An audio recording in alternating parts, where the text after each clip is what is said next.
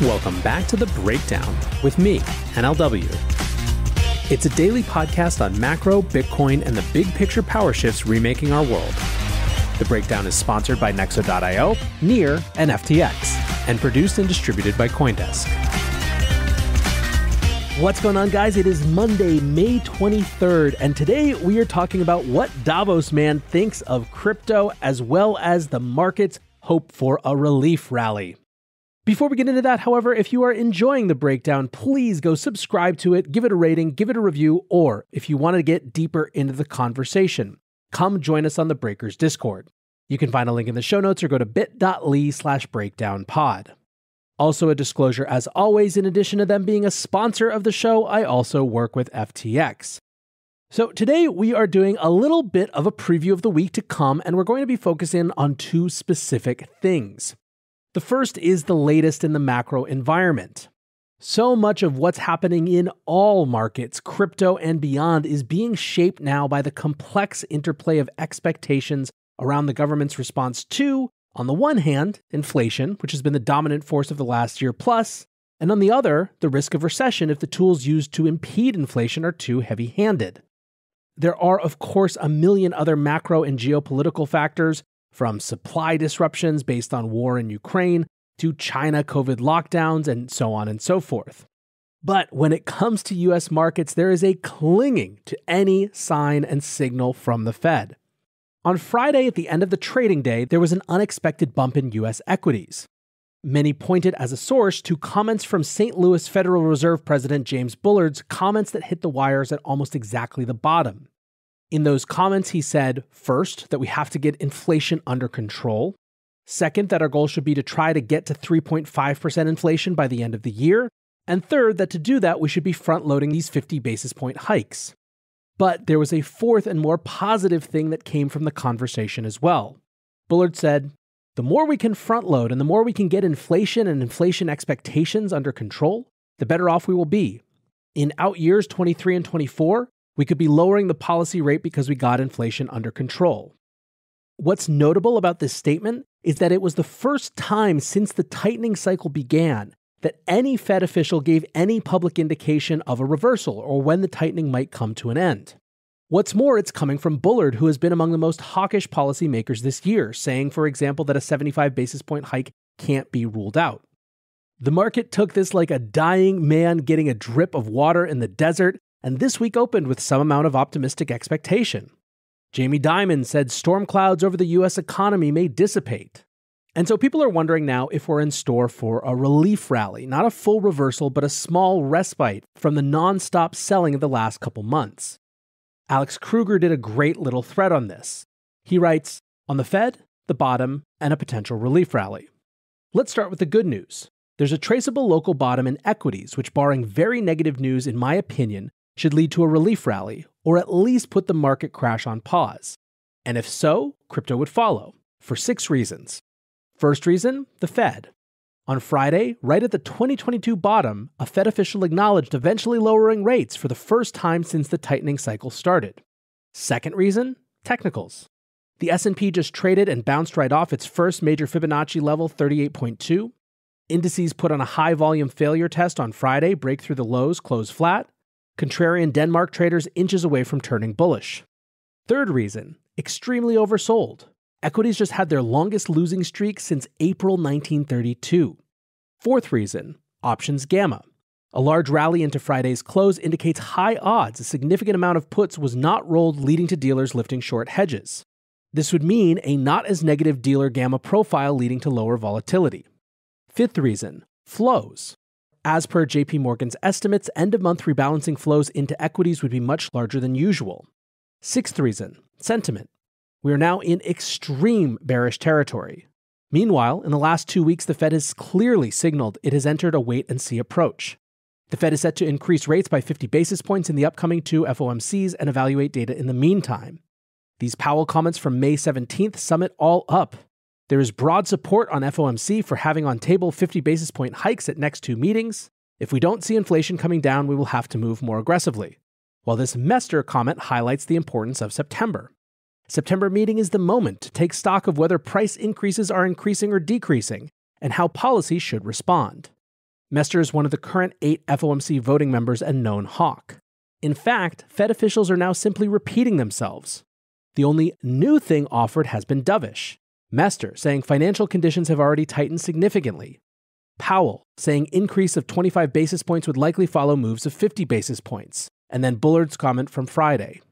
In summary, so far, the market has shifted to a new regime. The shift is likely over.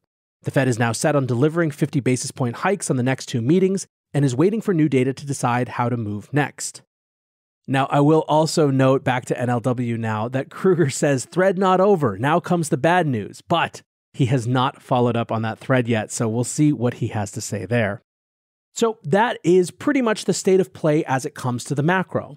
Stocks are doing well today compared to where they've been, so we'll see if that can hold out. Looking for ways to step up your crypto game? Then go with Nexo. For starters, you get free crypto for each purchase or swap.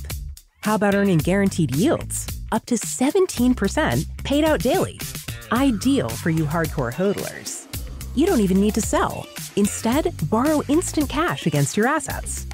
Get the most out of your crypto with Nexo at nexo.io. That's N E X O.io. This episode is brought to you by Near, a climate neutral, high speed, and low transaction fee layer 1 blockchain platform. Near is a blockchain for a world reimagined. Through simple, secure, and scalable technology, Near empowers millions to invent and explore new experiences. Business creativity and community are being reimagined for a more sustainable and inclusive future. Reimagine your world today at near.org. The breakdown is sponsored by FTX US. FTX US is the safe, regulated way to buy and sell Bitcoin and other digital assets with up to 85% lower fees than competitors. There are no fixed minimum fees, no ACH transaction fees, and no withdrawal fees. One of the largest exchanges in the US, FTX US is also the only leading exchange that supports both Ethereum and Solana NFTs. When you trade NFTs on FTX, you pay no gas fees. Download the FTX app today and use referral code BREAKDOWN to support the show. Second thing for this week Davos is back, baby. Yes, the World Economic Forum conspiracies are getting extra attention this week as everyone's favorite to dislike event comes around again. Davos is the nickname for the annual World Economic Forum meeting that takes place in Davos, Switzerland. The meeting was delayed this year, typically taking place in winter. This year's meeting started on Sunday.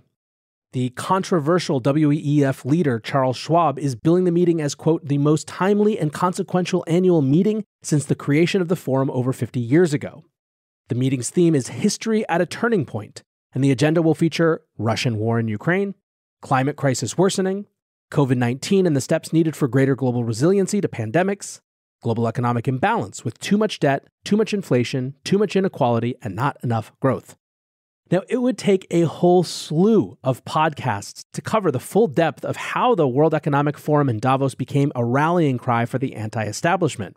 But to get a sense of where part of that discourse lies, there is a term coined by political scientist Samuel Huntington, the controversial author of the Clash of Civilizations thesis, and that term is Davos man.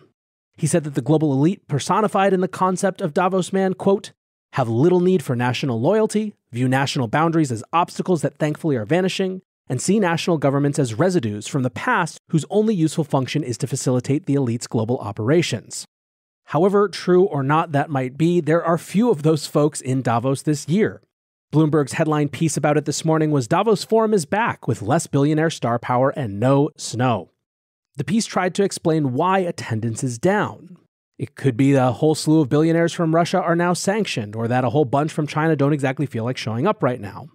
But given that definition of Davos man from Huntington, it might also then be fair to ask whether the reduced attendance in Davos this year is at least in part reflective of a larger deglobalization, a process that has certainly been accelerated and accentuated this year coming off of Russia's invasion of Ukraine and the West's response to it. But as is clear, this particular set of global establishment folks still obviously command a lot of influence. So, one thing I'm watching for this year is the state of the discussion around Bitcoin and crypto. This was jump-started in fine fashion over the weekend when European Central Bank President Christine Lagarde said that cryptocurrencies are, quote, based on nothing and should be regulated to steer people away from speculating on them with their life savings. There has been a ton of attention on IRA plans and other retirement accounts giving people the ability to start investing small portions into Bitcoin. Lagarde told Dutch television that she's concerned about people, quote, who have no understanding of the risks, who will lose it all, and who will be terribly disappointed. My very humble assessment, she continues, is that it is worth nothing, it is based on nothing, there is no underlying asset to ask as an anchor of safety. Of course, for Lagarde, cryptocurrencies are very different than central bank digital currencies. She said, The day we have the central bank digital currency out, any digital euro, I will guarantee. So the central bank will be behind it, and I think it's vastly different than many of those things. Now, in point of fact, crypto was a secondary question to European monetary policy for Lagarde in this interview. While the US has been tightening, the EU has left negative nominal rates intact. The big news coming out of this interview is that they're likely to leave the days of negative rates by September. Lagarde said, We are going to follow the path of stopping net bond purchases and then sometime after that, which could be a few weeks, hike interest rates. She also said that a 50 basis point hike is not really something on the table. One interesting question here is whether the ECB's slowness with regard to rate hikes and shifting monetary policy, relative at least to the US, comes from a difference in political pressure. In the US, we have midterms this year, and the economy is the number one issue for voters. This is why Biden changed his tune on inflation late last fall. I don't believe that Powell is a direct shill for Biden or anything, but I also do think that Powell's political future is tied up in what happens next with inflation, and even if he is nominally independent from any sitting president, you have to think that there is extraordinary pressure on him right now from the White House.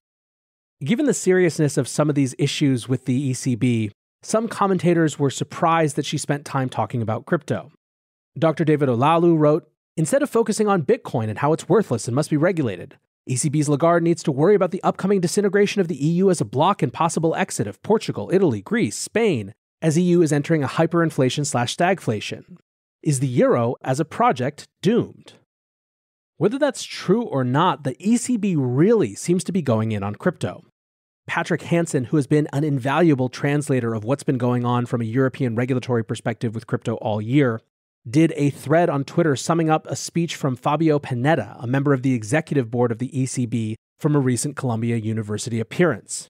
Here are just a few of the quotes. Crypto evangelists promise heaven on earth using an illusory narrative of ever rising crypto asset prices to maintain inflows and momentum fueling the crypto bubble. But appearances are deceptive.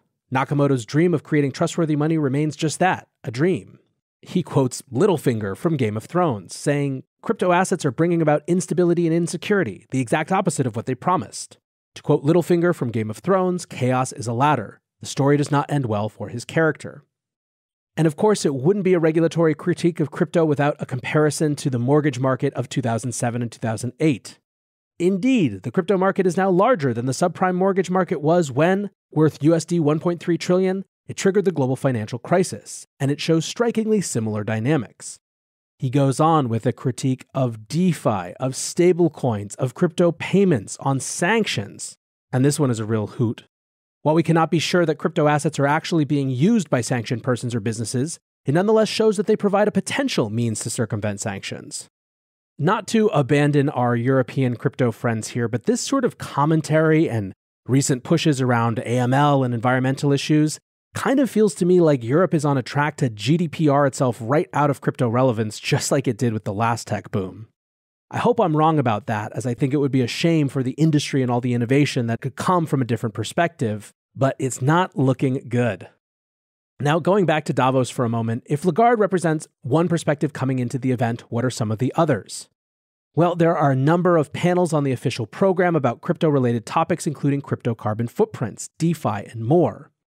Brett Harrison of FTX tweeted a photo of the beautiful Swiss Alps and wrote, The hills are alive with the sound of debate over cryptocurrency energy consumption, which pretty much sums it up.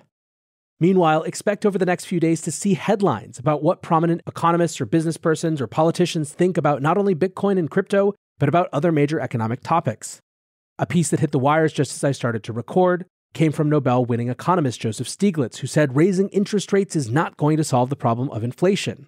It's not going to create more food. It's going to make it more difficult because you weren't going to be able to make the investments. What I think would be most interesting to me is whether this discussion of deglobalization actually comes up. Lisa Abramowicz from Bloomberg tweeted this morning an article from the Financial Times Globalization's golden era nears its end, business leaders warn. She points out that data provider Sentieo says that mentions of nearshoring, onshoring, and reshoring on corporate earnings calls and investor conferences are at their highest level since at least 2005. This seems to be the discussion where people are. Lastly, I will close on this note, bringing it back to crypto Twitter. Even with hope of a relief rally and a good bunch of dunks on the Davos man and woman, there is still a lot of intensity over here. Kevin from Galois Capital, who has been doing the podcast junket after calling the likely failure of UST and Terra, says In the wake of the Terra collapse, I see troubling visions. A third of crypto Twitter, having already gotten out of bed, with pitchforks and torches ready, want to go burn something else down, anything. Another third is despondent, having endless nightmares of bear markets. The last third has grown twisted and nihilistic. They do not even know if they actually exist, or only ironically so. They foment chaos. Yet in this chaotic time, there is a great opportunity. All narrative has been collapsed. Little anon, it is your time now. Build the life you want to live. The market is yours. The biggest players have no idea how to play this game. You are the vanguard of a new generation of crypto. Seize the moment and make your mark. Do not follow leaders, think for yourself. It is a good reminder and one that I hope you guys take to heart. For now, I want to say thanks again to my sponsors, Nexo.io, Near, and FTX, and thanks to you guys for listening. Until tomorrow, be safe and take care of each other. Peace.